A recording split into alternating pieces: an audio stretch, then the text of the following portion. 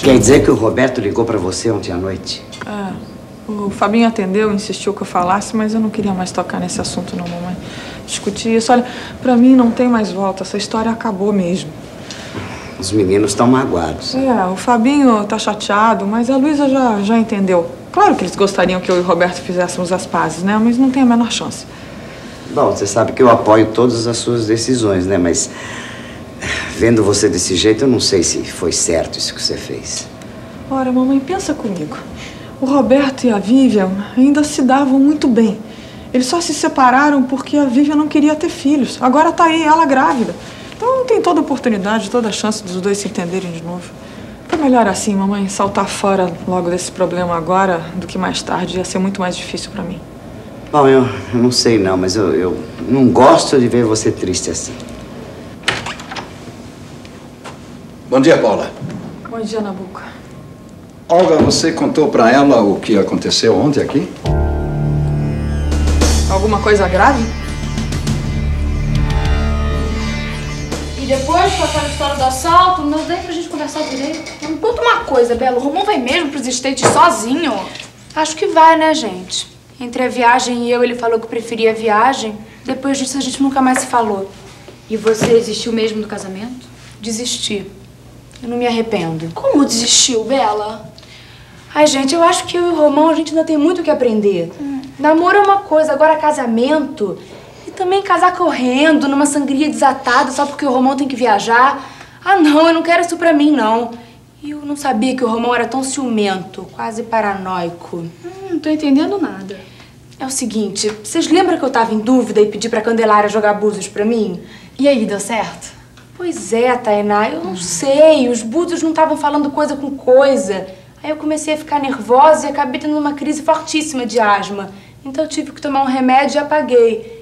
E daí eles me botaram pra dormir na cama do Éricles. Com ele? Claro que não. Só que foi isso que o Romão pensou que tinha acontecido. E pra explicar pra ele o que realmente tinha acontecido, ai, foi um custo. É, às vezes o Romão é difícil mesmo. É, e também tem a família dele, gente. Eles querem mandar em tudo. Eles queriam se meter demais no casamento. Queriam festão, badalação, frescura. E o pior de tudo é que o Romão dava força só pra não perder as mordomias que a gente ia ter na viagem. Ai, gente, foi muita decepção. Mas eu vou levar tudo isso numa boa. Vocês vão ver. Não parece, não. É, Bela, eu duvido que o Romão viaje sem você. Ah, eu também. Ele é doido por você e todo mundo sabe disso. É, mas as coisas mudam, né? Muda não. Amor não muda nunca.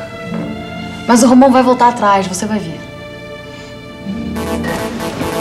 Fala galera, dado. Ai, acabei de falar com o Romão, ele acabou de me ligar. Disse que antecipou a viagem dele pra Los Angeles. Aí vem cá, e a Bela? Nem tocou no nome dela. Só falou que vai daqui a três dias. Ele ainda tá cheio de gás pra fazer o tal curso, mestre? Você sabe que não, Mocotó? Ele tá indo mesmo porque o pai faz questão, né? Já imaginou o Romão lá estudando três meses nos Estados Unidos? Não é exatamente o sonho dele, né? Ele tava com essa empolgação toda porque ia casado com a Bela, cheio de mordomia, mas agora. É, parece que o casamento deles gorou mesmo. É, e o namoro também. Pobre Bela, tão jovem, tão bonita, tão solteira. Ai, nesse momento difícil da vida dela, ela vai precisar de um ombro forte, amigo. Talvez mais que um ombro, né?